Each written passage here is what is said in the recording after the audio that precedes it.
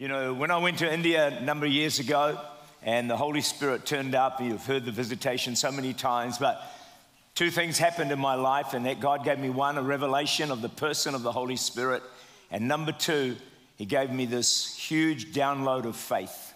I was uh, flying back uh, to New Zealand. I had this book in my hands by Smith Wigglesworth called Ever Increasing Faith. And God just gripped my spirit in an unusual way, probably for seven or eight hours, as there was a deposit of faith uh, put into my spirit. And really, I operate and I function from that.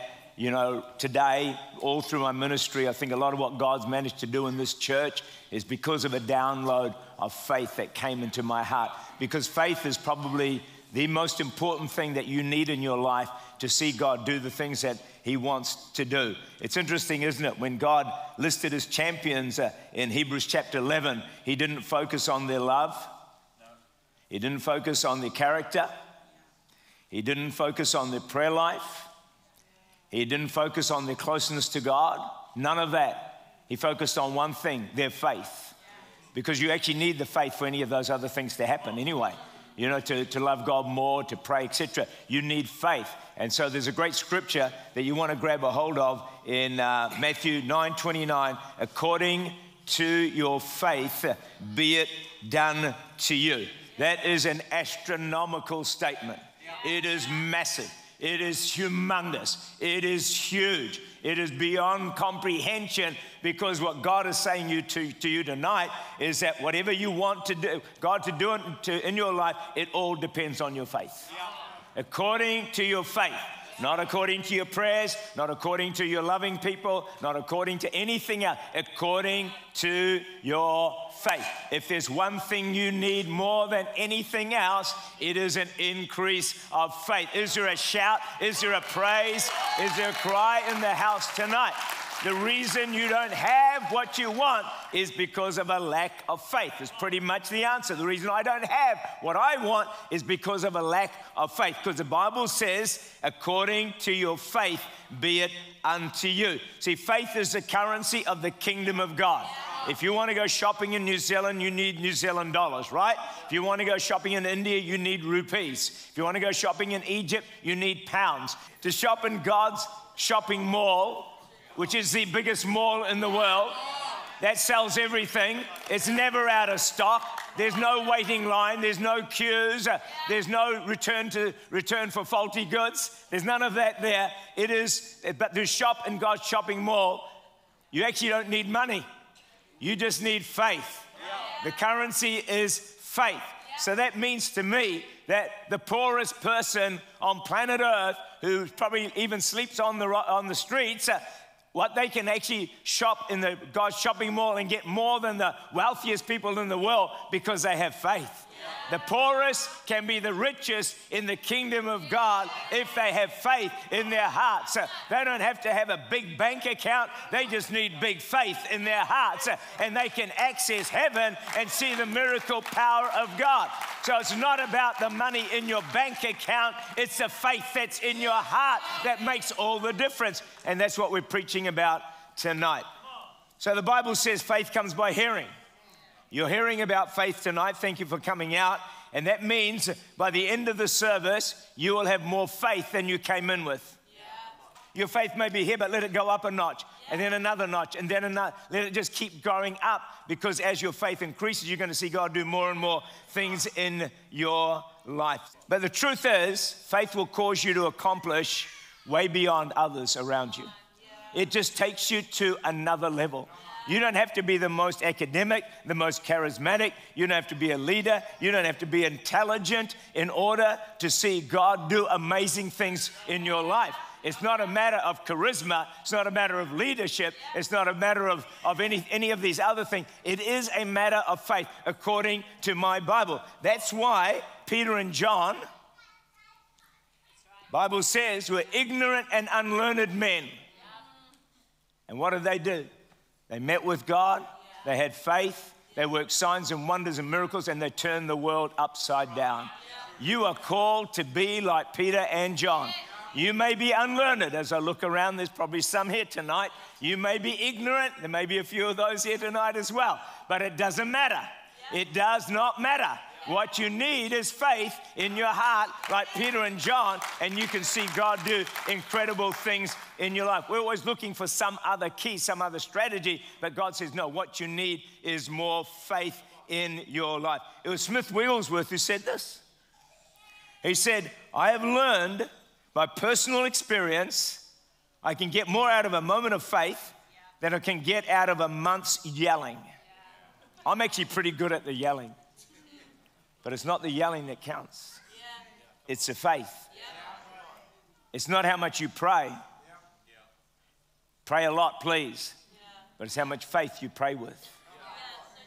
It's how much faith you pray with. And we've got to stop being satisfied with the unanswered prayers. We've got to start believing that as we pray, God is going to answer. We've got to put faith to our prayers. That's why I say the missing element for a lot of us, we pray plenty, but we don't see enough because there's not enough faith in our praying. Every time you're praying, you need to be exercising faith at the same time. You need to be believing God at the same time. You need to be crying out to God for that faith element in your heart so that the answer comes through. One of the biggest hindrances to breakthrough is unbelief. I reckon it's a stronghold in the body of Christ. Massive stronghold, holding people back from seeing what God wants them to do. Watch this Matthew 13 58. He, that's Jesus, did not do many mighty works there because of their unbelief. Think about that. God Himself, Jesus, could not do many miracles because of unbelief in their hearts. Unbelief in our hearts can stop God doing what He wants to do. And so we got to somehow eradicate unbelief. I think it was Smith Wigglesworth who said, too much roast beef and unbelief. And so what happens is unbelief fills our hearts. We don't know. And I'm going to talk a little bit about how to increase your faith in just a moment. But all this unbelief keeps filling our hearts. And friends, I'm telling you tonight that everything in the world, everything in the media, everything on social media, on the TV, the news, everywhere you look, it is feeding unbelief into your heart all the time. It is feeding, you can't trust God, you can't believe God, it's bad, it's gonna get worse, you're not gonna make it. It's feeding you all the time, all the time, unbelief. And that's why it's a stronghold. And we don't know it's happening. It's just fed into us all the time. I think it was Wigglesworth refused to even watch read the news because it was all negative. And he didn't want any unbelief getting inside his heart. So he didn't even, he didn't, all he basically did was read this book. No wonder he had incredible faith. So just take a note of this, friends, that every so all the time the devil is feeding unbelief into your heart. Therefore, when we pray, we don't get the answers. Unbelief is a massive stronghold. But we read in Matthew 17, verse 20, I say to you, if you have faith as a mustard seed, it's all you need. You will say to this mountain, Move from here to there, and it will move. And watch this, and nothing, say this with me, and nothing will be impossible for you. Do you think that's God speaking to you? I mean, are you included in the you? Yeah. Nothing will be impossible to you. Yeah. The problem when we read that verse, we hear that, but we don't believe it. Yeah. We just don't believe it. He says, if we have the faith, nothing will be impossible to you. And all you need is a mustard seed, which is one of the smallest mustard seeds possible. It is just a tiny, tiny mustard seed. And that's it. God says, that's all the faith that you need. So, friends, it is time to stop talking about your mountain. Stop talking about your giant. Stop talking about your problems. It's time to speak to your mountain. It's time to speak to your giant. It's time to speak to the problems that are facing you today. Stop talking about the giants and the mountains. Start speaking to them because this it says here, if you speak to your mountain, then it's going to move in Jesus name. You know, a lot of people say no way. You got a problem on your hands, you say no way. God says Yahweh. Yahweh means I am enough. I am more than your problem. I'm greater than your giant. stop saying no way.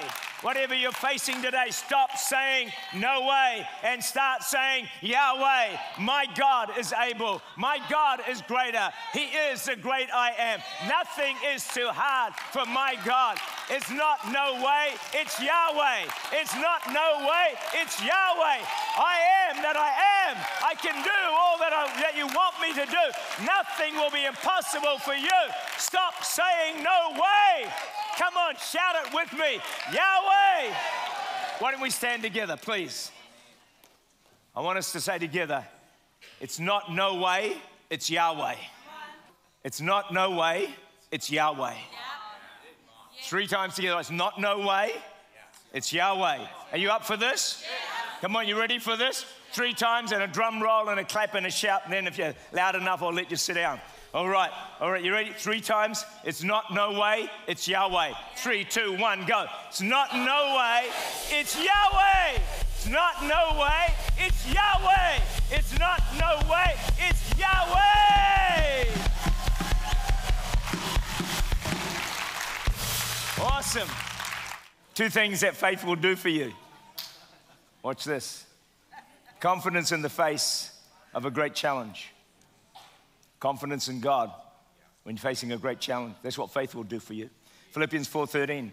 I can do all things through him who gives me strength. You know the problem with that verse? We don't believe it. We actually don't believe it. We think, oh, no, no, I can't do this. I can't do this. That's our problem. It's unbelief. Here's another verse Romans 8:37. Yet in all these things, all, you can look that up in any language. In all these things, we're more than conquerors through him who loved us. Our problem? We don't believe it. God says it, but we don't believe it. We say, no way. He says, Yahweh. Are you getting it? See how big unbelief is? It's just massive. That's why we don't see quite the miracles, though some good things are starting to happen.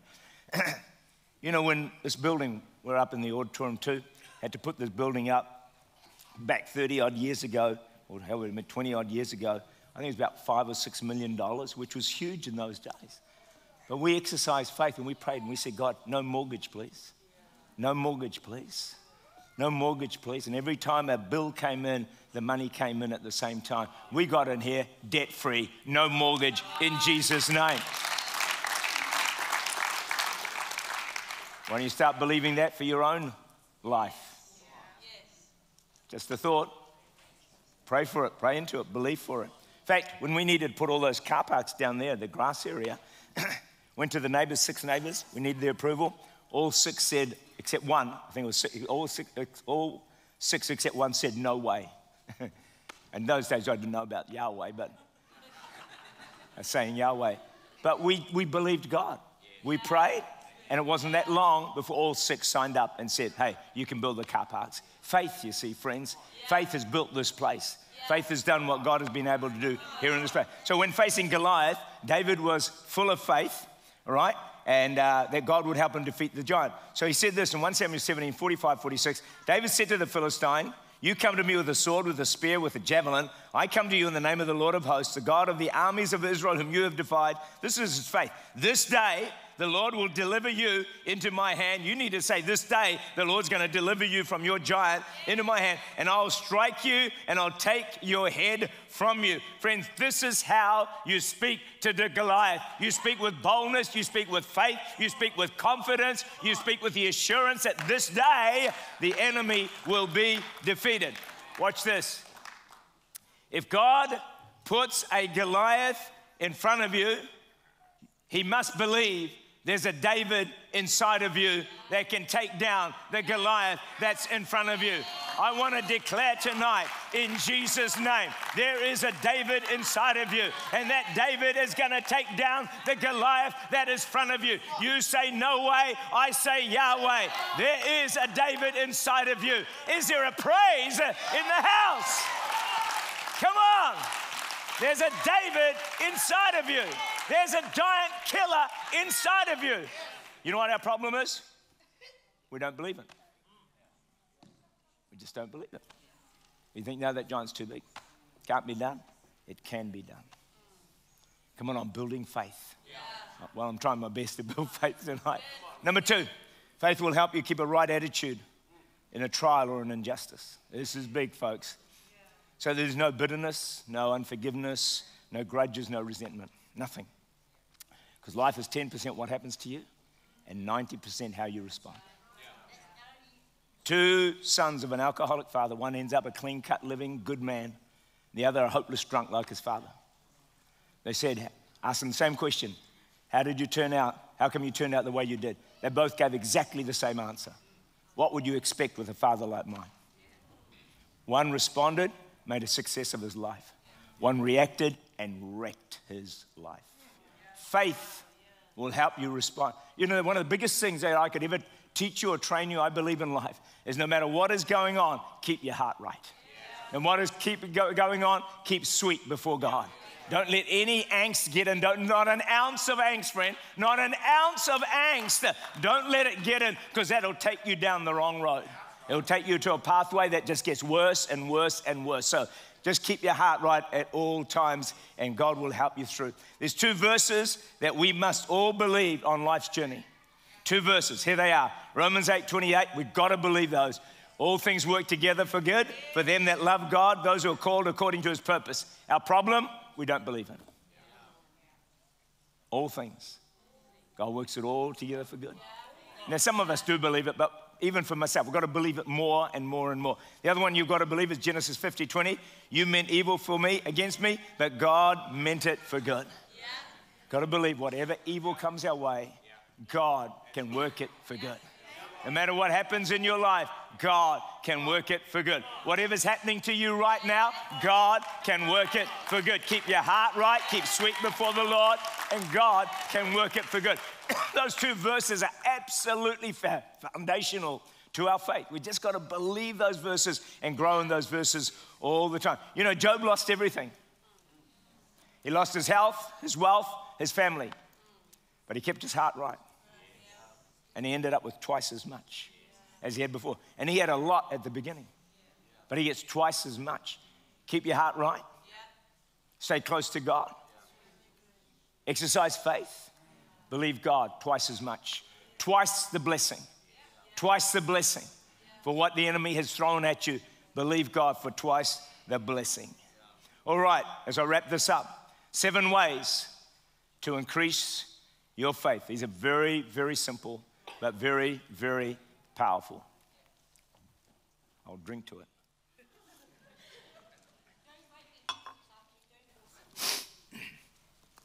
Number one, you might want to jot these down somewhere, folks, because it's an absolute key. Number one is develop your relationship with God. Just got to keep doing that, folks. Because my Bible says, Daniel 11:32, the people who know their God shall be strong and carry out great exploits. The single greatest key to real faith is develop your relationship with God. You can't be a low key, casual, compromised Christian who turns up to church every so often and expect your faith to grow. Expect your relationship to, with God to grow. It's, not, it's just not going to happen, folks. We've got to be fully engaged and fully committed to pursuing God with all of our hearts. And as you do, friends, your faith will grow. And as your faith grows, you'll do exploits for God. You'll see God do amazing things. I tend to think faith is a little bit like cheating. Because you manage to do things that others can't do. They look at you and think, man, how come you get this, this, and this? Because you're trapped into this faith factor in your life. It makes all the difference, folks. Number two, number two is the Word of God. Romans 10 17, faith comes by hearing, and hearing by the Word of God. Be much in this book. Thank you for that overwhelming response. I'll try this side here. Be much in this book. Be much in this book. Be much in this book. Let me give you some facts. They say 85% of Christians, 85% do not read their Bible Monday through Saturday. 85% do not read the they do not open this book. Any wonder why they're defeated? Yeah. Yeah. True. Any wonder why they're beaten? Yeah. Any wonder why they can't overcome their obstacles? You don't open this book, friends. Your level of faith is going to be right down here, very, very low. Be much in this book. Be much in the Bible. Tell the person next to you, get into your Bible more and more. Go and tell them, yell it at them, scream it at them.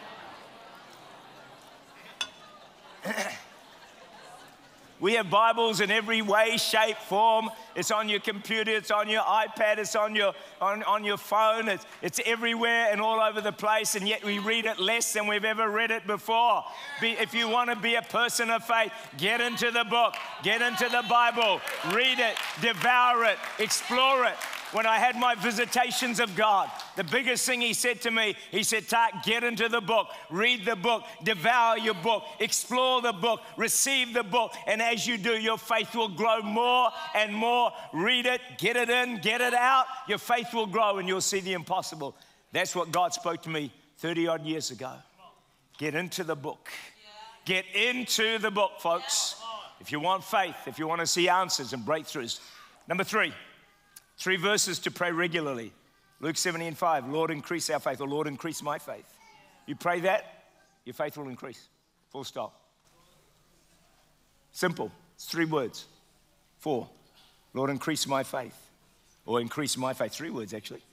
Increase, how long did that take you? Three seconds? Increase my faith. Three seconds a day. And your faith will explode. Three seconds a day. Is that asking too much? Maybe it is. I'm sure it's not. Mark 11, 24. Whatever you ask for in prayer, believe you'll receive and it shall be yours. Mark 9, 24. Lord, I believe, help my unbelief. Three verses to pray on a very, very regular basis. Let's go. Number four. I've got seven, all right? Three to go, four to go. Number four, walk with faith people. Hang around people of faith. I struggle sorry to say this, with negative people. People that give you five reasons why it may not work. Give me a break. don't, don't be, don't hang around negative people, friends. It will affect your spirit. You know, sometimes Jesus puts, when he goes to pray for someone, he puts, I think, was it Jesus or Peter? I one of them, Peter. Was it? Jesus? Put, put them out of the room, and he just took, yeah, I think it was Jesus, and just took few of the ones full of faith and raised the girl from the dead. But he, he, wouldn't let a whole lot of people in the room because they had unbelief, they didn't have faith. You don't want to be around negative people. And so tell a person next to you, please stop being negative, or please don't be negative. Please don't be negative. Please don't be negative.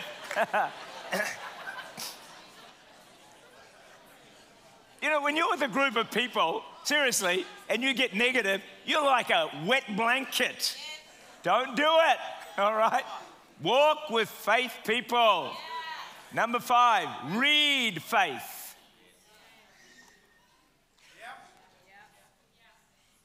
The miracles of Jesus. Find books on faith.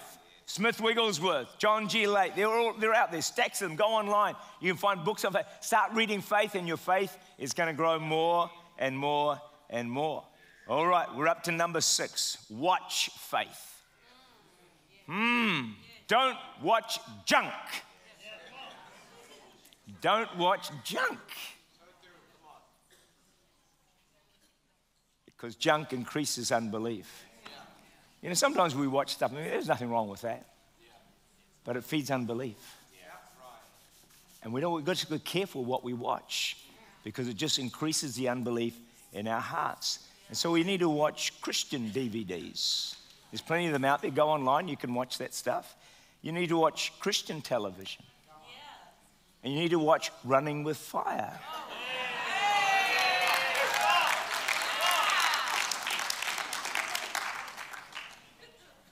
Anyone who's not watched Running with Fire in the last year, I want you to come to this altar now. and we want to pray for you. What about watching my daily Devos on Facebook? They're on Monday through Friday. They're just there. They'll feed your faith. They're mostly about five minutes long. That's all it takes. So I'm expecting a big jump in the number of people watching that tomorrow. Okay? the last one is this number seven is talk faith. Just talk faith all the time. Just talk. Yeah, I believe we can do it. It's going to happen. I talk faith all the time. So Mark 11 23, whoever says to this mountain, be removed and cast into the sea, does not doubt in his heart, believes those things he says will be done, he will have whatever he says. The word says is repeated three times. You have to open your mouth and speak. Whoever says to this mountain, be removed. So it's your words have power. If they're positive words, they release miracles. If they're negative words, they work against you and they don't produce what you are after. So, what challenge are you facing tonight as the team would come? Faith is the trigger that will release divine power to work for you. May today be the day that you get your miracle and your breakthrough in Jesus' name. Amen.